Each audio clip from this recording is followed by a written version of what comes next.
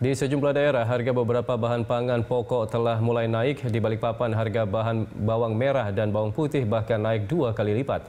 Sementara di Subang, Jawa Barat, harga beberapa jenis sayur juga naik. Dua pekan jelang Ramadan tiba, harga sejumlah kebutuhan pokok di pasar tradisional di Balikpapan, Provinsi Kalimantan Timur mulai merangkak naik.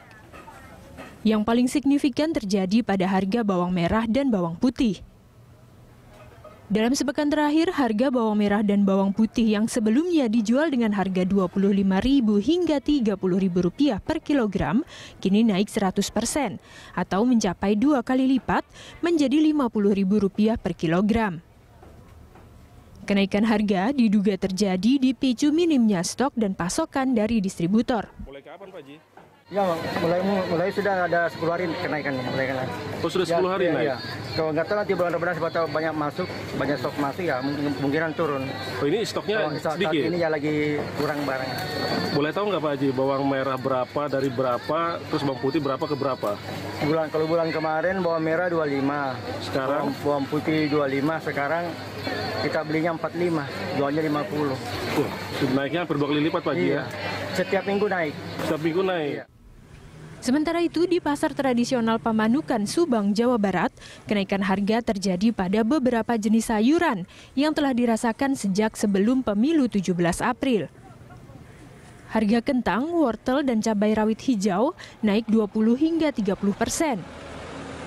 Harga bawang putih, tomat, cabai hijau, cabai merah, dan ketimun naik 50 persen, sementara harga cabai rawit merah naik hingga 100 persen.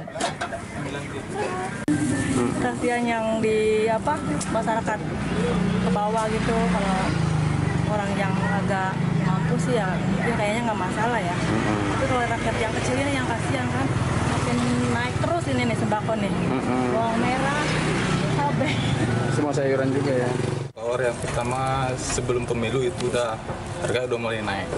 Uh, kedua ya mau menjelang bulan puasa itu kan yang mau pada naik terutama dari sayur mayur. gitu.